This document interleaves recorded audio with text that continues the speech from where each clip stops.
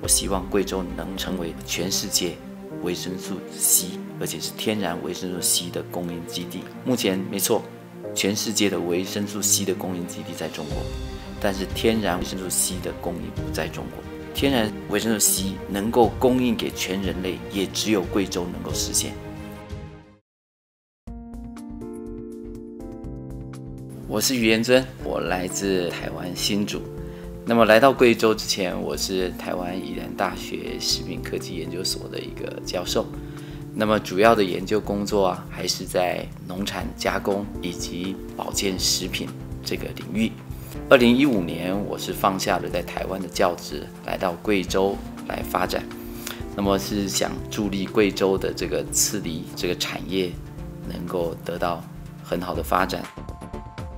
第一次接触刺梨，就是在二零零九年台北国际食品展这个展会里面，它展出了一个大的海报，上面写着“刺梨是三王之国”，哦，维西之王、维 P 之王、SOD 之王。看到这个东西很讶异，贵州竟然有这么神奇的果实，也怀疑。这是我在台湾对刺梨的第一印象。那么正凑巧，我隔月有一个云南的国际研讨会。那我在国际研讨会结束之后，就到了贵州。到这边也是惊讶，为什么刺梨在这边是一个这么好的一个果实，而且是原生地，但是为什么没有发展的很好？这也让我惊讶。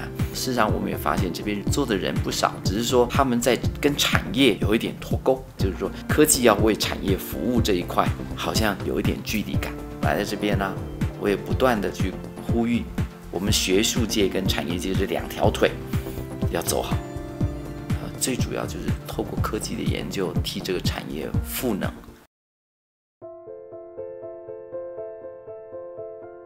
那么就一产的部分，现在目前碰到最大的问题就是同质化的品种过度在这个大面积栽培，而忽略掉一些优秀的一些品系。这个部分事实上在我们做科研上面已经很理解，某些品系适合某些产品来开发。我们是正在呼吁能够专项专种，还有我们正在攻克的如何做机械化的采收跟果实的这个成熟度的分级，如何用原果做分级之后来多面向的辐射到各种产业上面。现在目前我们正在攻克，就是利用光电选别的技术，把这个果实成熟度做一个区分。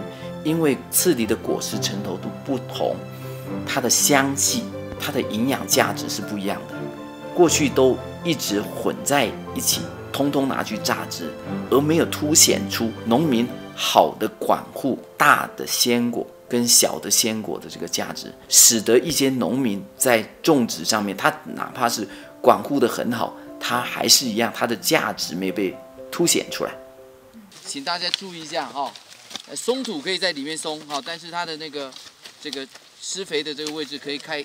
从最早我们呼吁要种植刺梨，依托的是贵州在做这个石墨化治理啊、退耕还林啊，实际上引入很多的物种。那时候我们刺梨也想要透过这样的一个机会，能够占有一席之地，但是这还是有两难的地方哦。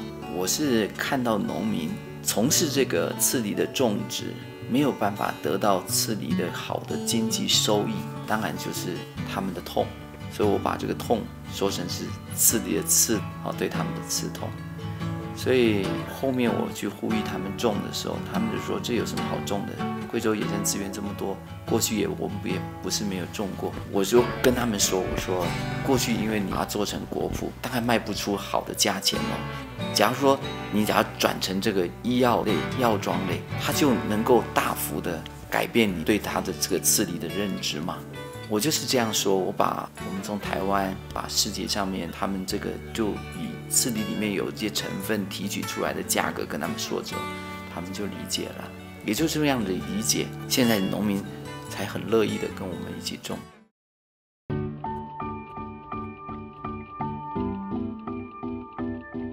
前面种植起来之后，后面就是如何把刺梨正确的这个发展的这个方向，包括保健、药妆、基础原料这一块，我们现在林林总总加起来应该有七八十种吧，主要还是偏向于。保健食品、美妆产品、药妆产品，组建的这些研究团队，事实上也申请了将近百项的专利。我平常时在这边，从早到晚，早上八点到这边，晚上十一点离开，基本上都都是这样。他还说，回顾我二零零九年来到这边的时候，我还是呃头发还是黑的，看起来是一个年轻小伙子，到现在应该几乎头发全部都白了，有很大的转变。但是为了这个工作，我一点都不后悔。我想，科技工作者其实最大的这个愿望，就是说能够在把自己所学能够贡献回馈社会了。